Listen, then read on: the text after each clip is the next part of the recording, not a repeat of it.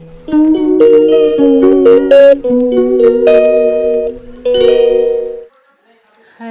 hello hi good morning दोस्तों. सुबह के छः बज रहे हैं। इस समय हम बनाने जा रहे हैं बच्चों के लिए ब्रेड से बनाएँगे सैंडविच। यहाँ हम उबाल रहे हैं आलू उबलने के लिए रखने जा रहे हैं धुल के। और और बताइए आप लोग कैसे हैं? यहाँ मेरी आलू भी उबल गई। हम तो बहुत बढ़िया हैं। यहाँ बहुत जल रहा है, चक्कू से छील लें, जल्दी हो जाएगा। क्योंकि सुबह इतनी हड़बड़ी रहती है बच्चों का स्कूल के टाइम पे कि पूछिए मत। अब जल्दी जल्दी इसको हम छील लिए। अब इसको मैश करके इसको हम हल्का सा तेल डाल के, हल्का मसाला डाल के हम इसको भून लेंगे। खूब अच्छे से। अच्छे से जब हो जाएगा, इसके बाद हम इसको खाली कर लेंगे।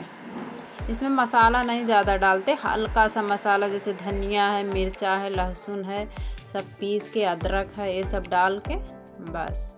और यहाँ थोड़ा थोड़ा हम केचप लगाएँगे सब में, उसके बाद आलू बीच में भरेंगे।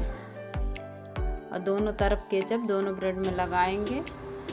फिर उसके बाद इसको हम तेल में सेक के, और बहुत अच्छा लगता है, बच्चे तो बहुत अच्छे से खाते हैं।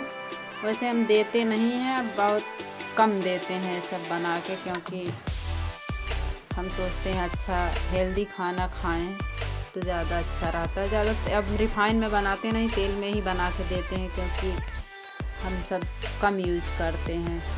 देखिए, कितना अच्छा सा हो गया। बहुत जल्दी जल्दी हो जाता है। कढ़ाई में बहुत अच्छे से होता है। देखिए, सारा बन गया है। अभी इन लोगों का हम पैक कर दें सबका। ये देखिए, यहाँ पैक हो गया सबका लंच। अब इसके बाद हम बर्तन क्लीन कर ले सारा। बहुत ज़्यादा बर्तन हो गया है। सारा क्लीन करने के बाद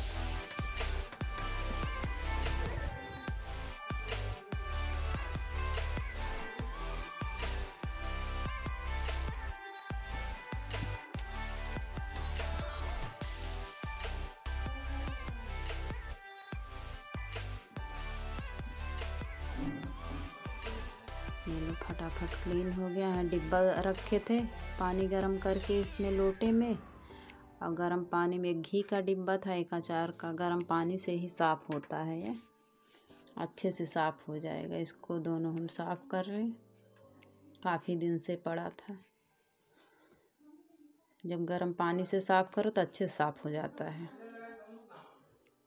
ये देखो, अच्छे से हो गया।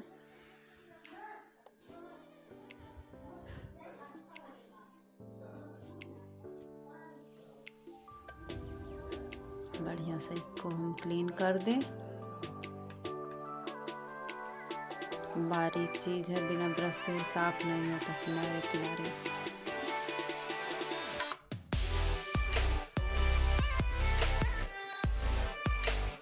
भी अच्छे से साफ़ कर दे, क्योंकि चिकनापन आ जाता है।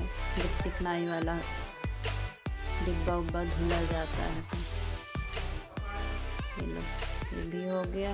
अब यहाँ लंच लंच के लिए हम दाल चढ़ा दे दोपहर खाने में। Bye bye.